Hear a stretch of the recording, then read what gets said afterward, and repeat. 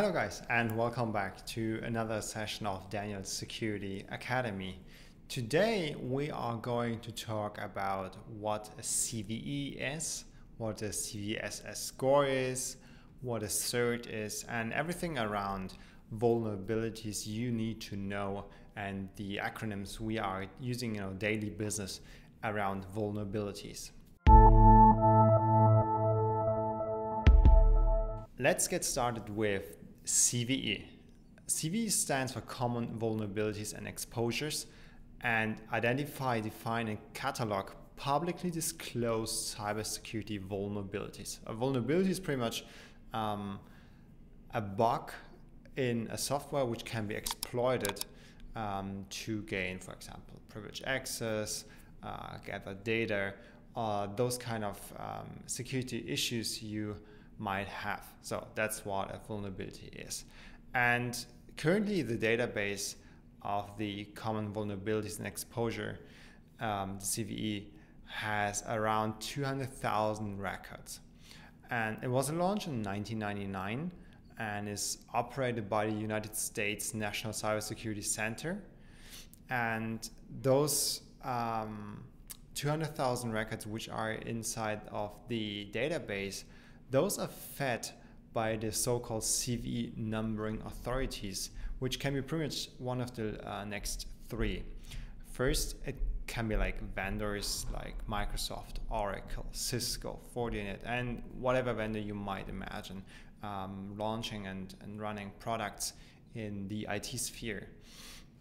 Secondly, we have the uh, Mitre Corporation, which essentially runs the CVE um, website and uh, database. And thirdly, we have the CERT centers. And about CERT, uh, I will going to talk in a little bit um, what CERT is and what those teams and centers actually do. So one CVE entry contains like a description, um, a reference to, for example, external sources, to the vendor's website, and um, the creation date. Those three entries or the, those three fields are actually the only fields contained in a standard CVE post and inside the database. There has been some legacy fields which are currently obsolete, so uh, those are not being filled anymore. Um, and yeah, that's pretty much it. What uh, CVE is, and the CVE is um, pretty much an ID, and the ID contains like the beginning uh, CVE dash, then the four-digit year code, let's say 2022 dash, and then a subsequential um, identifier. Um, I, I, mean like a sequential identifier. And so it could be like uh, CVE dash 2022 dash 0157, for example. This will be one CVE from the year 2022 and yeah that's pretty much how it looks like. But CVE is just one part of the story. Um, let's,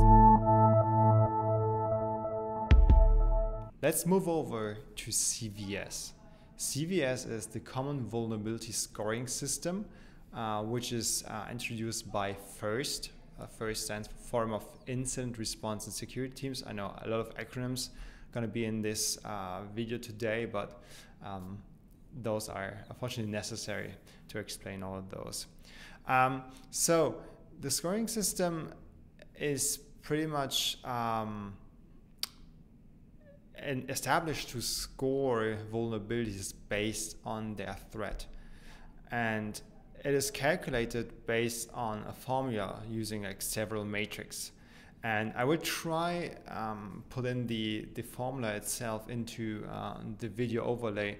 But um, I've never done the calculation myself so I always just look up the score and like okay that's nice that's a 9.6 for example.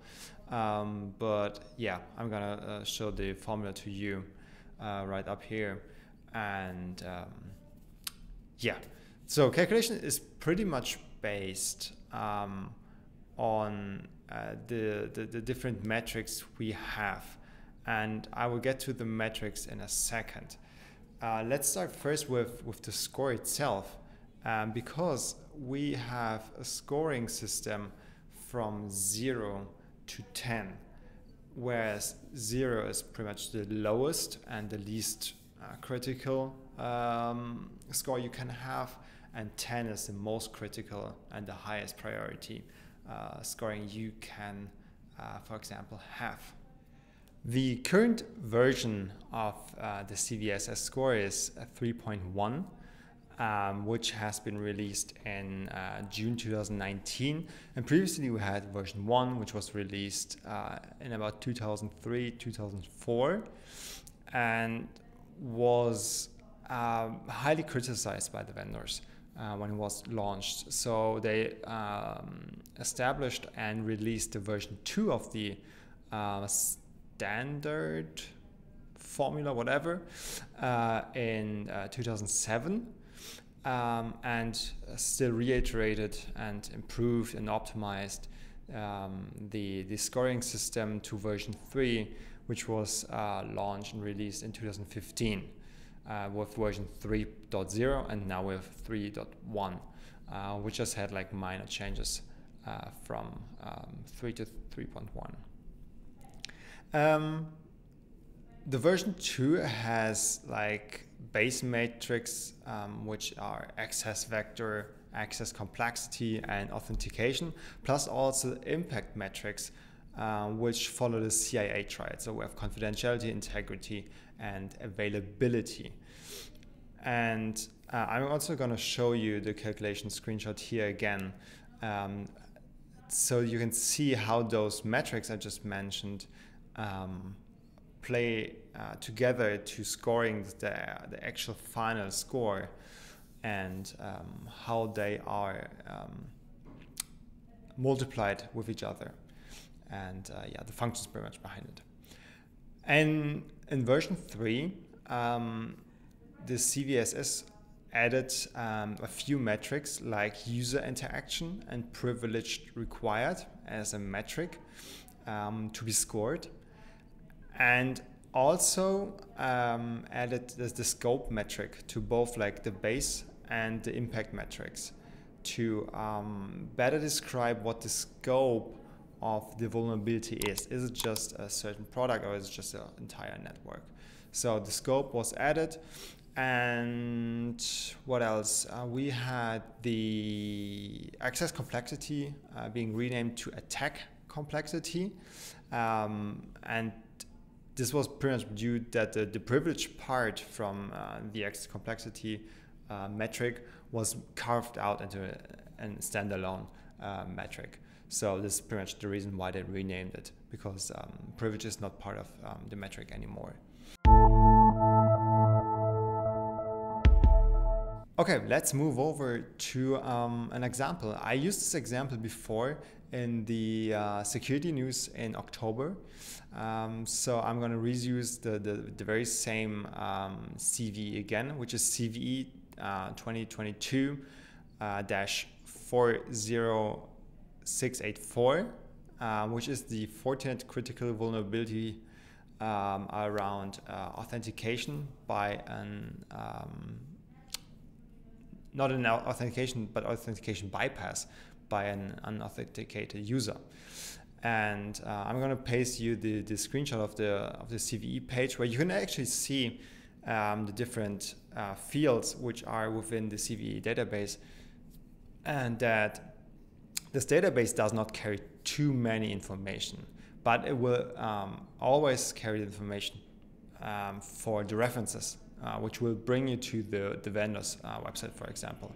So um, also a screenshot which I'm, I'm going to show you uh, is um, how the, the CV actually looks like on the, on the Fortinet web page.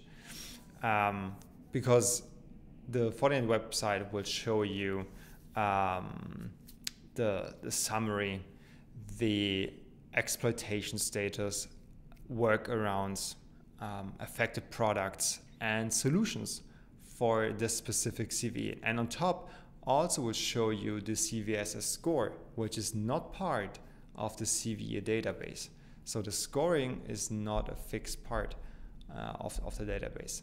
Uh, it's something you have to look up uh, on the on the website of, of the uh, vendors, for example.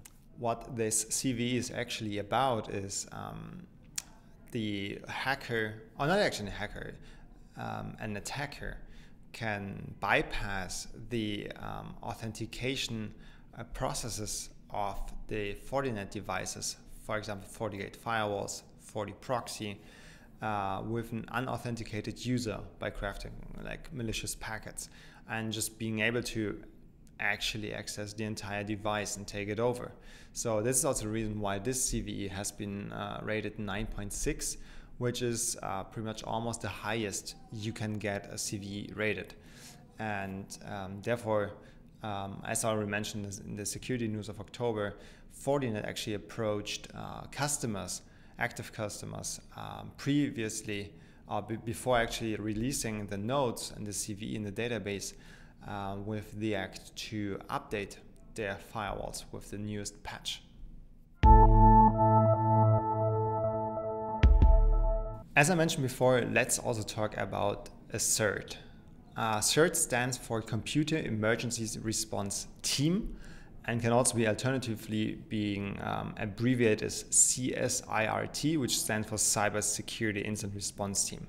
Both abbreviations pretty much mean the same, and um, yeah, I, am personally more often use the CERT um, term because I'm pretty much grow up with this term being used in, in my first company. So um, yeah, I always use the word, uh, the term CERT, and also it does speak out better in, in the abbreviation than CSIRT. So um, CERT was first uh, introduced or used, established uh, in 1988 by a university in um, Pennsylvania, in Pittsburgh. And they pretty much reacted to the first upcoming um, computer worms, um, which were uh, programmed and, and, and, spread across the internet um, or the networks back then. And uh, was the first act pretty much to, to gather uh, information about those kind of um, malicious uh, activity also or also vulnerabilities around uh, those. And first, which is also the author of the CVSS score, um, is pretty much a global association uh, of the certs around the globe. So there's like the hat association being first, and then you have the the national uh, cert teams, for example, um, below this association.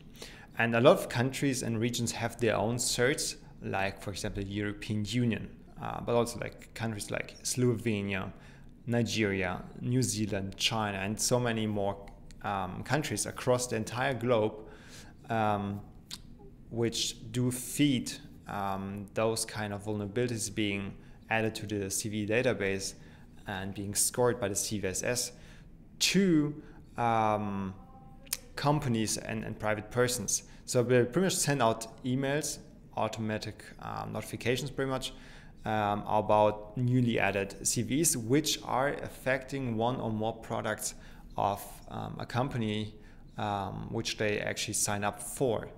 Um, so if you want to get those emails, uh, just sign up for um, one of the your nearest CERT uh, teams, and um, maybe um, some CERT um, associations teams will not be um, eligible for private persons, where you only be able to sign up as a, as a, as a company. For example, the German CERT uh, team only provides direct information to companies, but they also offer um, a public service to to uh, citizens uh, of, of, Germany. So um, there you will also get some kind of service, and this also applies to many more cert uh, teams around the globe. Whereas you also, as a private person, can receive some of those um, information uh, as soon as those. Uh, being released. For example, if you um, run um, a private network at home, and you run maybe some Ubiquiti devices and you want to be certified, or not certified, but notified actually, um, as soon as um, a vulnerability is being published about Ubiquiti firewalls, access points, switches, whatever, um, yeah, you can get your uh, notification from uh, either the vendor itself, but maybe also from one of the CERT teams. So, yeah. Go ahead and check it out for your nearest uh, location. So if you're in the US, uh, feel free to use the US uh, um, resources for this. If you're from Europe, uh, check if your local country um, has its own cert team. If not, just uh, use the European cert team. Uh, which also brings me to my summary already. Um, so, how does those CVE, CSS, and um, CERT does tie into each other? Pretty much, it's it's like this. We have a vulnerability which gets added to the CVE database. The CVE receives a score based on the formula of the CSS score, which is currently being used, which is 3.1 for right now um, of this video, 2022. And the CVA, CVE gets reported to companies which are registered uh, with one or more certs uh, and receive the warning pretty much immediately as soon as it's being uh, published. So this is the, uh, the process. Created, score, send out to um, companies and sign up people of the mailing list. And therefore, companies can be informed about potential weaknesses and requirements to act in a fast and optimized fashion. So uh, I brought up this example. Let's stick with it. If you have a FortiGate running uh, in your environment and a new vulnerability is being found and being scored, um, you know based on, on, on, the, on the mail you receive from your CERT team, okay, I have to act now, I have to act within the next days, I have to act within the next patch period, um, my new my next maintenance window, for example. So uh, this is a great tool um, to stay updated and always um, keep an eye on the open vulnerabilities for my products. So, which is important that you sign up only for the products you are using with your cert, so you don't get spammed uh, by those um, automated um, notifications. So the only way it can give you value is if it's tailored to you and to what you actually have. So yeah, um, let me know if you actually have worked with a cert before, if you were aware of the CVE CVSS score and that the CVSS score is actually not part of the CVE database. Um, yeah, let me know what you think. Let me know what you um, already know about this. And uh, if you want to get more detail about um, some of those parts, maybe also make um, example calculation for a CVSS score, um, yeah, just let me know and um, I'm gonna try uh, and make it into one of the upcoming videos. Thank you so much. Um, stay safe and see you in the next videos. Bye bye.